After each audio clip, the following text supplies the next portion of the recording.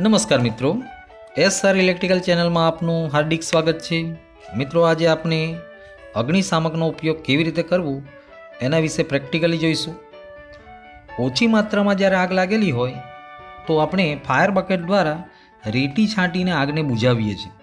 પણ વધારે પ્રમાણમાં લાગેલી આગને કેવી રીતે બુઝાવવી અને એના માટે ફાયર એક્સટિંગ્યુશનનો ઉપયોગ કેવી રીતે કરવો એના વિશે આપણે અહીંયા જોઈએ.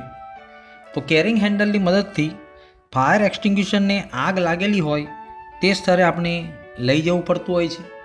અહીંયા તમે જો કે એની જો જે પિન છે એ બતાવેલી છે, આ હેન્ડલ દર્શાવેલ છે. પિનને અહીંયા તમે જોઈ શકો છો. આ આપણું હેન્ડલ છે. આ તમારી જે છે એ પાઇપ નોઝલ છે અને આ સિલિન્ડર સિલિન્ડર છે. હવે આપણે જ્યાં આગળ આગ લગાડવાની છે એ આગ લગાડવાનું સ્થળ અને જગ્યા પસંદ કરો.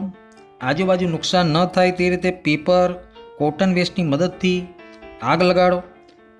અહીંયા તમે જોઈ શકો છો કે કોટન વેસ્ટ અને પેપરનો ઉપયોગ કરીને આપણે આગને લગાડી દીધેલી છે. જો આગ લાગી ત્યારે એલાર્મને વગાડો અને બીજાનું ધ્યાન ખેંચવા માટે આગ આગ આગ એમ બૂમ પાડો. વીજળીના સપ્લાયની મેન સ્વિચને બંધ કરો.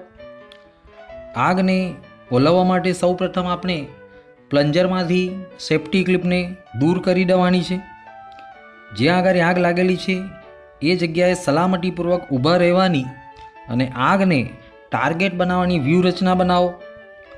સ્ક્વીઝ ગ્રીપ એટલે કે પ્લન્જર એને દબાવીને પાઇપ નોઝલ જે છે, એના દ્વારા એક્સટિંગ્યુશર એજન્ટ જેમ કે પાણી ફોર્મ પાવડર સીઓ ટુ વગેરેને આગની આજુબાજુ ડિસ્ચાર્જ કરો અને આગ બંધ ન થાય, ત્યાં સુધી ઉપરથી નીચે સુધી સાઇડ ટુ સાઇડ એક્સટિંગ્વિશર એજન્ટને પ્રસરાવો.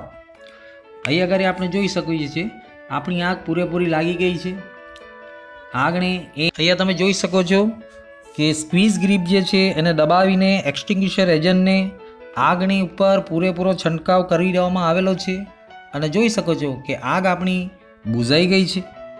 આગ બુઝાવવા માટે આપણે પ્રથમ તો દૂરની સલામત જગ્યાએ ઊભા રહીને પછી ધીમા ધીમે ધીમે આગળ વધવાનું હોય છે. ડીસીપી એટલે કે ડ્રાય કેમિકલ પાવડર અને સીઓ ટુના વધારે પ્રમાણથી શ્વાસોચ્છ્વાસ જે છે એમાં તકલીફ થતી હોય છે. આથી આ પ્રકારના એક્સટિંગ્યુશનનો ઉપયોગ એ બંધ રૂમમાં ન કરવો જોઈએ. તો મિત્રો, કેવી રીતે અગ્નિશામક એટલે કે ફાયર એક્સટિંગ્યુશનનો ઉપયોગ કરવામાં આવે છે એ અહીંયા તમે પ્રેક્ટિકલી જોયું. આશા રાખું છું કે આ વીડિયો તમને પસંદ આવ્યો હશે. આભાર મિત્રો. Thank you